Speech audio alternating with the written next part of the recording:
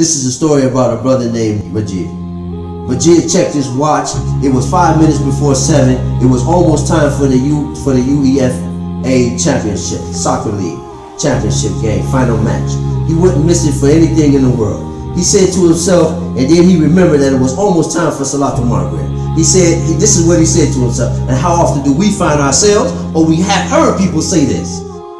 I will pray, I will pray Maghrib and Isha after the match he concluded. This match, uh, this match was a uh, is a must watch, a must watch, and Salat can wait.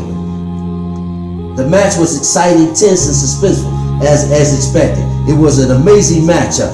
It was Chelsea and uh, somebody else, and this was and this was expected. Chelsea won dramatically via penalties, so they won. So they won the game.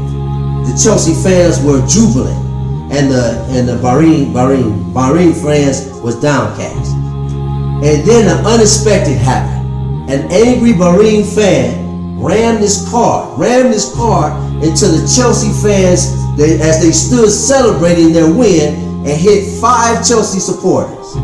Alas, Majid was one of those who got hit. Two died on the spot while Majid and two others made it to the hospital. He passed away in a few minutes. After, after reaching the hospital, his last, his last words was, I wish I had played my Isha. His last words, I wish I had played my Isha. This could have been me, this could have been me or you. This is the, this is the person saying, this could have been me and you. Since we never knew, since we never know when death is coming to us. We have to live in this world reminding, uh, reminding ourselves that death is, I mean, that death can come in any minute. Therefore, love Allah in your hearts. Should you perceive, now, should you perceive the love of any other thing, or should perceive more than anything, than any other thing.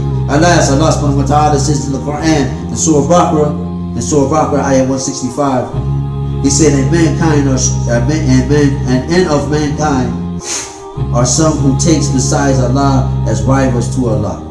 They love them, they love them as they love Allah. But those who believe and love Allah more than anything else, if only if only those who do wrong could see when they see when when they I'm sorry, when they will see the torment that all power belongs to Allah and that Allah is severe in punishment.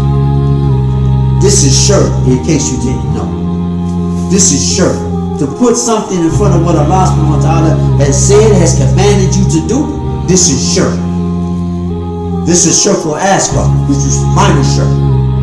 Depending on how, I mean, well, depending on what levels, what levels it is. You have major shirk and minor shirk. So this is shirk or asghar, and, and pertaining to this that legit. He said this shirk we ignore eh, every we ignore we ignore every day, every minute of our lives, delaying worship of Allah for monetary pleasure of this dunya. Loving other people or other things at expense uh, at the cost of our love for Allah. We are not assured the next minute, yet we postpone worship and we postpone alms giving, charity all the time. Allah, I mean, Allah says, and, and, and, then Allah says in the ayat, uh, in the surah that I just read, prefer this life over, or we prefer the life of this world although the hereafter is better than that.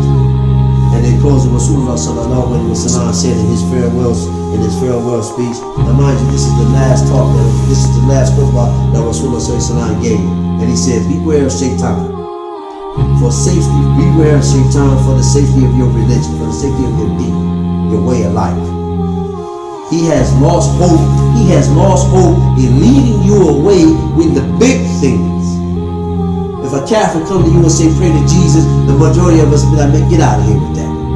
Go on with that. That's those are big things.